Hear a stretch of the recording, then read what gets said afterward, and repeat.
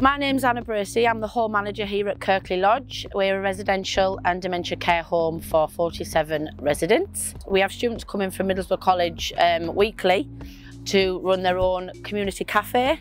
Um, we've done this for several years. Obviously, had to be stopped due to COVID, and then we've luckily been able to restart it since.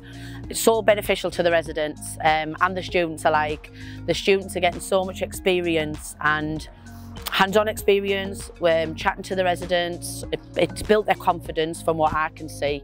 Um, and my residents thoroughly enjoy it. There's, there's one resident who's down here about an hour before the residents arrive so he can get a good seat. Um, he absolutely loves it. My name's Phil Wood and um, I run the Shaw Trust in Stockton. So um, the, the Shaw Trust here is a garden centre and nursery with a cafe. Um, initially set up to help support adults with learning disabilities.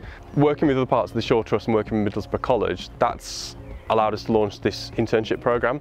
Um, and we've been working together with you guys to offer opportunity for five individuals from the college to come across and get real world experience. Um, we're hosting the work placement, um, so we're delivering uh, improving kind of confidence, uh, improved skills and practical work skills uh, with a view to then giving someone a really good stepping stone from the world of education into the world of work.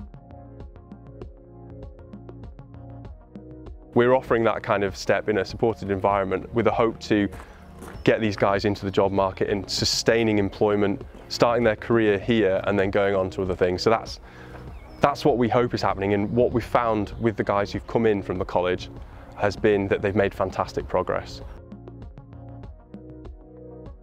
Hi, my name is uh, Idris Rashid. I'm one of the directors here at uh, Community Voice FM. So CVFM has been working with Middlesbrough College for about six, seven years as part of uh, this supported internship program.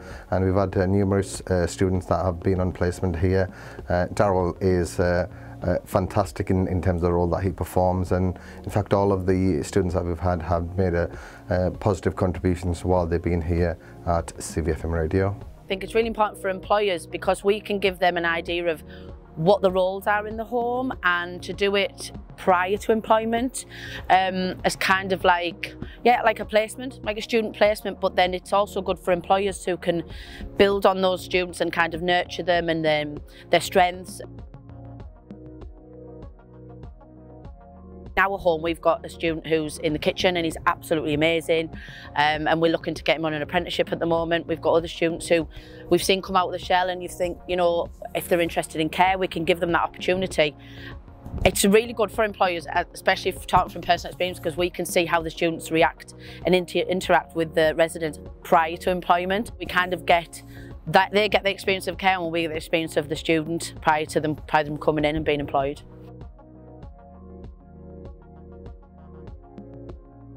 Some of these young people who've come in from day one to, to where we're at now, which is you know even not quite at the end of the programme. So that's been really pleasing to see.